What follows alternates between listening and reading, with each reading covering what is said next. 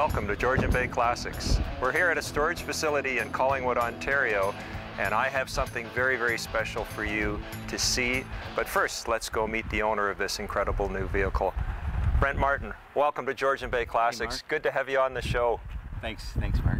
This is a very special day for us because the sun is shining and we have a project here that you've been working on for the last, I know, 15 years. We haven't heard it run. It's been in this storage facility. Tell us a little bit about this thing. Well, actually, it's been a long journey. The restoration has probably been 13 years. Uh, I bought it and uh, I had a plan in mind, and I've never had it on the road. So, like I said, it's been a long journey. What is it? Uh, it's a 13 window Volkswagen micro bus, and um, 1962. 62, yes. Yes. Yeah. And uh, This is not an original vehicle though. Uh, no, I've done a few uh, a few modifications on it. So uh, to be driven on the road nowadays, uh, you need something. Speaking of driving it on the road, I can hardly wait to hear you start it up. All right, Can you go and start it up and let's let's let's do the unveiling. Okay. Thanks, Brent.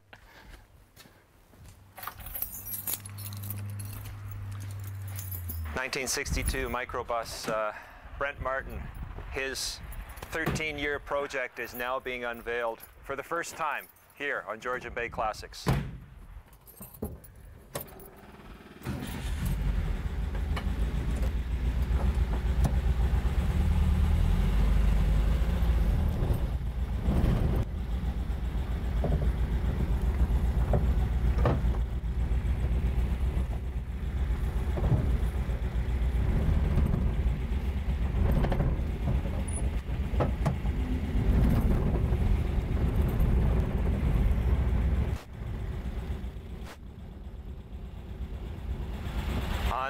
Unbelievable.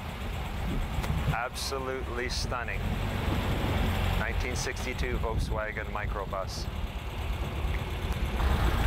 Listen to that motor purring away. Uh, it's got that gorgeous uh, Volkswagen sound. Brent, can you just give it a little kick on the accelerator so we can hear that exhaust?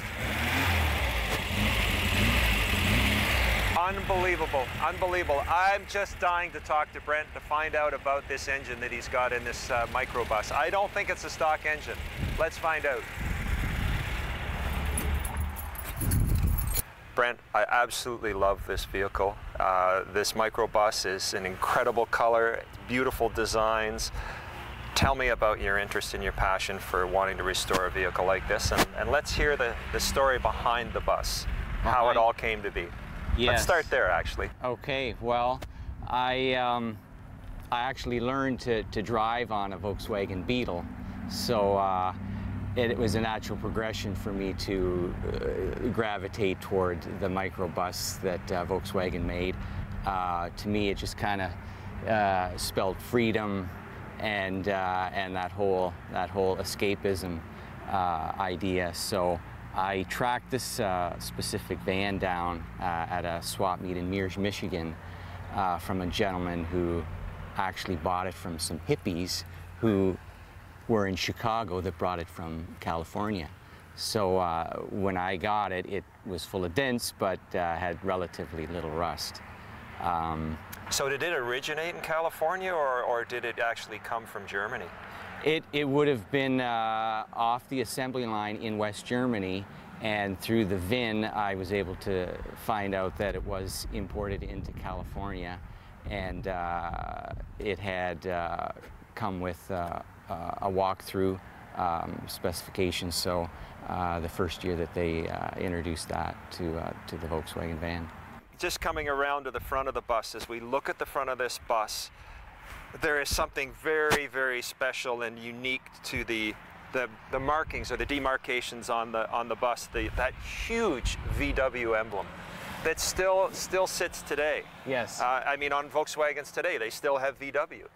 That's been a long time happening, hasn't it? Long time, long time happening. Yeah, they uh, um, they wouldn't have normally been chrome, but uh, I had a kind of a look that I was going for when I did this uh, project, and uh, Now, the other thing I noticed about it too is it seems to be sitting a little lower than it might normally be sitting. Has there been any suspension modifications done? Yeah, yeah, it has lowered spindles on the front with a narrowed beam and uh, again lowered on the back uh, just to have a little bit nicer stance.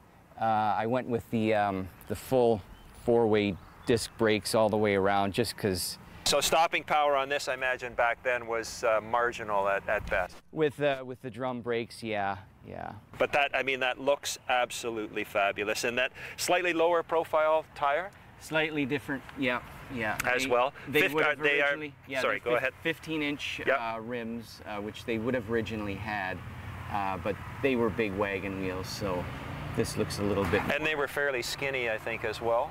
Yes. My understanding is that the bus uh, in a wind, if you ever got in a crosswind in a bus, you would uh, certainly be hanging on for dear life. Would Yeah. that be fair to say? That would be fair, yeah. So Brent, if you could, let's just uh, have a look right here of, of what we've got with these panels. Um, these are not the original panels. You've done a replacement of these panels then? Uh, all of the interior is, has been replaced. Uh, it- it's, um, uh, yeah, it, it's, it's all been replaced. It's so. absolutely gorgeous. And then tell us about the windows. Uh, What's, what's up? Could you open that for us? Is that openable? Yeah, the uh, all of these uh, windows are uh, pop-out style. Oh, look at that. So you get true on ventilation through the cab, which I imagine would normally be uh, pretty hot in the summer Pretty without this. warm, yes. Pretty warm. Yeah. This is almost like a suicide window, though, is it not? This particular one of the other three. Can we uh, just just uh, show our viewers? yes. It's ba- It seems like it's backwards on the hinge, but that's the way it was designed. Do you know then. why they did that? No. They did that so that the front two, uh, the front driver and passenger, all would have to do is just turn around, and the and the uh, lever would be right there instead of. Instead of having to reach back. And then what about on this this particular one? It's it's the opposite. It's the opposite and, and non-suicide. non-suicide so like to speak, oh so. th- that's amazing these panels uh, you had mentioned to me are still available through a, a, company in california that you get the product from So fine, yeah. so fine yeah They've been supplying interior parts for 20 plus years. and then all these screws and all these connections and all these pieces are all still available all still available. That's unbelievable. Also notice, uh, viewers, that all the rubber trim has been replaced too. This is all brand new here. The rubber seals on the glass, so you've had all the glass out, I believe, as well, and, and redone all of that too. yeah. It's stunning. It's stunning. Thank you. Can we go inside? Sure. All right. Sure. After you, sir. Yeah Tell us about your restoration of the interior. Where did that happen in your restoration process, the interior? The interior, well, it would have um, obviously after paint and and uh, uh, and most of the the running uh, running gear uh, took place, but uh, it wouldn't have come with this rug uh, as we see here. It would have been originally a um, just a, a rubber mat. Yeah.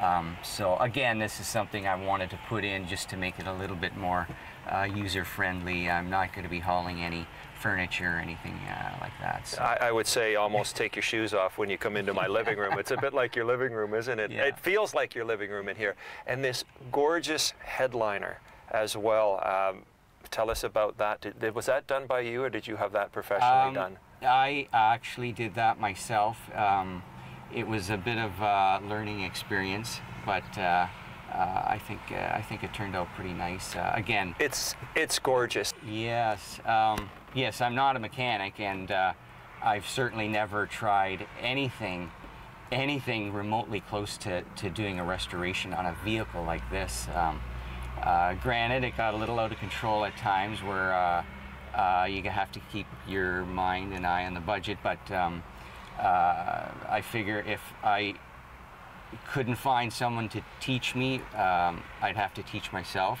or just through uh, uh, trial and error. What would one use back in the 60s? What would this vehicle predominantly be used as uh, in its current state?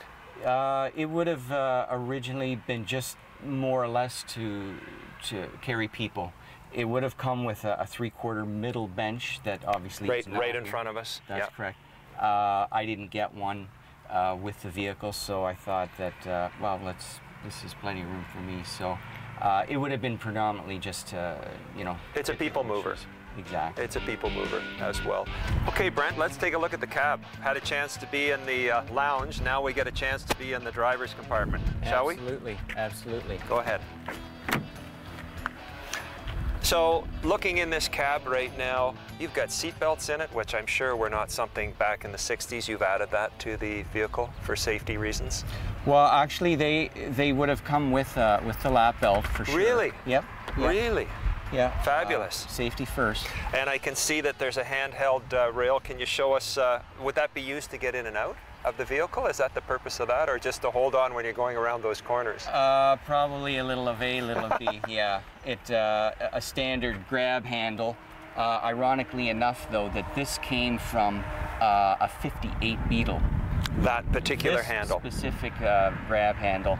And the reason why I wanted that is because it matched the steering wheel when I uh, when I refurbished the steering wheel. That uh, I- grab handle. matched. that column's black, and you've got the, the gorgeous black handle that complements it as well on the dash, on the matching dash. I'm thinking that the pieces in there as well were not normally chromed. Would they have just been painted? They they would have been just painted. Yeah. And of course, you've got an ashtray, which back in the 60s was critical. Everybody, Brilliant. everybody needed an ashtray. Absolutely. Let's just do a little walk around if we could. Uh, can you just talk a little bit about these windows that we have? These are uh, a, a locking mechanism that you can see that we have the little piece here that it locks into. So you have all these different positions so that depending upon how hot the cab is, it actually locks right in. Uh, it does not pop out, it does not roll down, it's on a sliding track. Yeah, yes, uh, that that's uh, a Volkswagen uh, original. That little that little gizmo. I love that. Plus you have the vent windows have that have the vent locks. Could you show us how those work? Yeah, they. Uh, And I guess this, again, because you've got all brand new seals, this is the way they used to be back in 62 when they came out of the factory. I bet not even as nice as this. probably Pro- not. Probably not. Come on around the front. Uh, talk to us about these front windows. They're incredibly unique. Can we open one of these windows just to show us how this works, the Safari Yeah. window? They have the same mechanism as the uh, the window, uh, the the draft windows, and uh, And the distance you can go. It's a bit like running with no windshield, isn't it, at some point in time? yeah, I- I don't know if And you then, want you, to then, then you'd lock it, would you? Yeah, yeah. What a look. What an absolute, I, and I totally understand how you would want to put a safari window in this, just because the look is, is spectacular with that. Absolutely spectacular. Uh, this 62 bus isn't licensed yet, so it's, you have not had it out in the road or you have? I, you know what, I bought it 14 years ago, started this restoration, this whole crazy project, and learned a lot, and uh, almost there.